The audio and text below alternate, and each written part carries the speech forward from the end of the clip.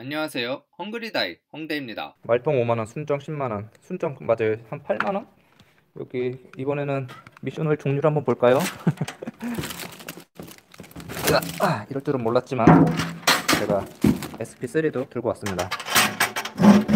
SP3 있고 multi plus 어, multi plus 있고 얘도 얘도 multi입니다. multi.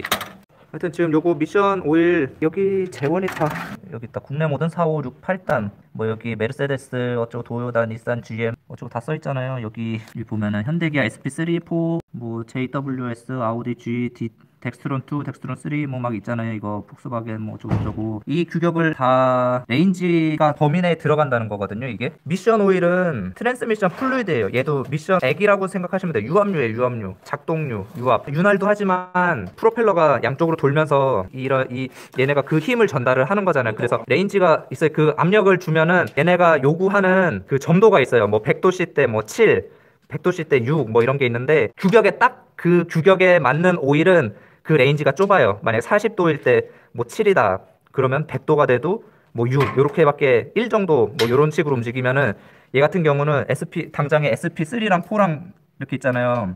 3가 점도가 더 높아요. 4는 연비 개선 때문에 점도가 좀 낮아요. 그래서 뭐 5나 4 예를 드는 거예요. 그렇게 되면은 당장에 얘만 봐도 4, 4에서 7까지 range가 이만큼 넓어지는 거예요. 얘는 6에서 7만 움직이는데 온도 변화가 40에서 100도로 가도 6에서 7 고 range 안에서 움직이는데 얘는 40도에서 100도 올라가면은 range가 이만큼 늘어나는 거예요. 이렇게 딱 규격에 맞는 거를 쓰시는 게 제일 좋습니다. 왜 그러냐면은 그 만약에 덱스트론 3 이런 거 구하기 국내에서 구하기 큰, 큰 걸로 구하기 힘들어요. 비싸고 그리고 딱 덱스트론 3용 오일입니다. 이렇게 판매를 잘 안 해요. 잘 안 팔리니까 그런 건 어쩔 수 없이 쓰는데 만약에 그 규격에 맞는 걸 구할 수 있으면은 그 규격에 맞는 거를 사가지고 집어넣는 게 제일 좋습니다. 뭐 닛산 Matic Fluid CD JKS 있잖아요. 이 규격이 나눠져 있는 그 유압 토크 값을 원하는 그 기계라는 소리인데 이거는 멀티잖아. 이거를 다 만족을 시켜야 되는 거잖아. 그래서 유동성이 좋은 거예요.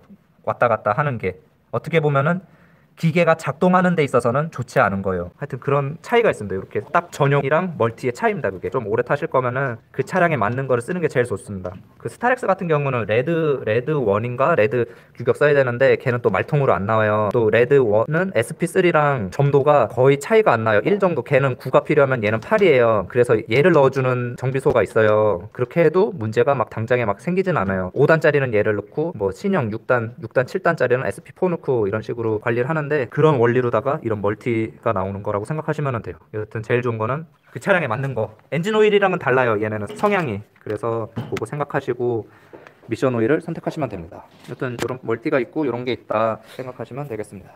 아, 너무 두서없이 말씀드려가지고 잘 전달됐을지 모르겠습니다. 오늘도 수고 많으셨습니다.